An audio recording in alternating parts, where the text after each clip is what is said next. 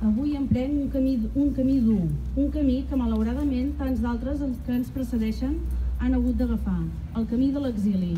No puc amagar la profunda tristor que sento d'allunyar-me de tanta gent que m'estimo i m'estimo molt, de, de tantes lluites compartides durant tants anys amb persones que les mou un únic objectiu, canviar la societat on viuen, fer-la més justa, persones dignes, deixar de veure els paisatges que m'envolten des de la infantesa de passejar per les ciutats on he viscut.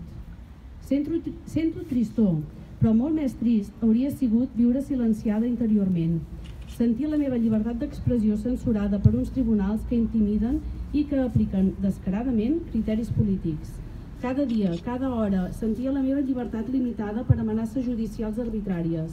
No em sentia lliure, no em reconeixia. Aquestes darreres setmanes he viscut dins d'una presó interna.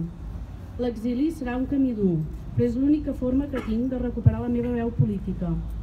És l'única forma que tinc d'alçar-me contra el govern del PP que persegueix tothom qui està a favor de votar i que castiga qualsevol que intenta canviar el preestablert i l'establert. Un govern que està disposat a saltar-se l'estat de dret i les llibertats civils per aconseguir els seus fins polítics. Tinc una filla, l'Agnès.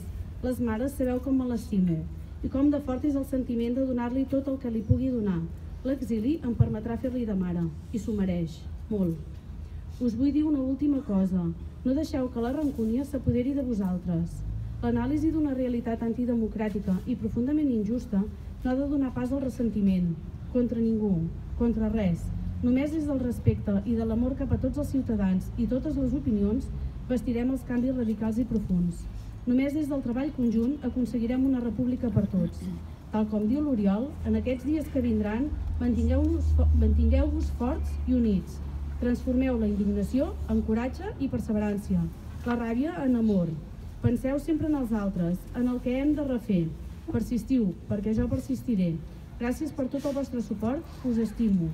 I això és el que farem, Oriol. Us escric, ara sí, amb sinceritat i llibertat.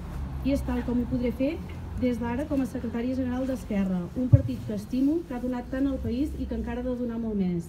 Visca la llibertat, la justícia, la igualtat, la fraternitat, visca una república catalana per tothom. Marta Rovira.